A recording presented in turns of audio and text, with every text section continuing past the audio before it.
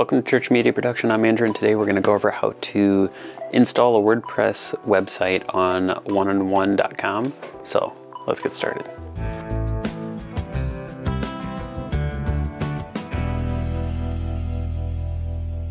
So once you're inside of your domain details, you're going to want to click on the where it says destination. Or you click use your domain.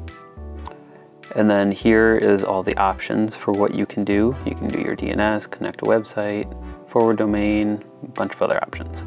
But what we're going to use is create website.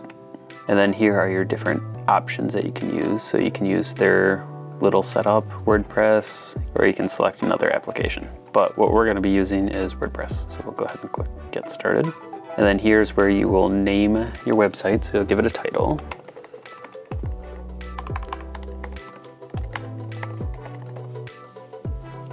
All right, so once you get your title in there, go ahead and hit create website. And then this is where you will enter in your default administration information.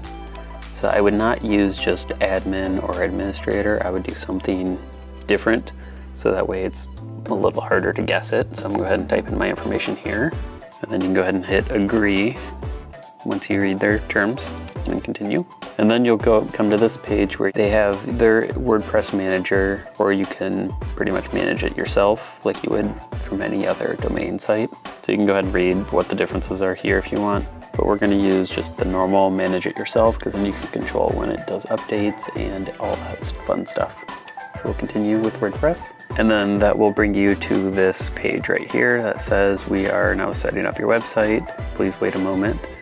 It'll kind of do its little loading down here. And then once it's finished, you'll get congratulations, your website is online. You can now create your website. Then you'll see here, you got your domain address, it was installed, your name, and then all these other details. So then what you can do is you can go ahead and click edit website right here.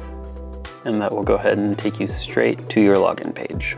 The, the other option is if you just do wp-admin, so up here at the top, it'll be whatever your domain is, wp-admin will get you to the same exact page. So you can go ahead and log in with whatever the details were that you entered in earlier. From here you have two options. You have, you can use their options, which will kind of go through some quick little steps to get everything set up, or you can just do it yourself. I'm gonna go ahead and do it myself because I've done this many times. So now we're here on the main page. And if you come up here to your domain, you right click, new tab, open new tab, you'll see it is live. There's stuff on here. Of course, it doesn't look very good right now, but that's where your editing will come in handy. So the one thing you're gonna wanna make sure you do um, is if you come in here to general, so you'll have your site title, your tagline. So the tagline, well, you can set it to whatever you want. And then you have your website URL, so you wanna make sure those are both the same. Your email address, this will be whatever email address is for admin purposes. You want any membership registering, which we're not gonna have any for now, so we'll leave that alone. The roles don't matter because we're not doing the top one. And then your time zone. So I would set this to whatever time zone you're in.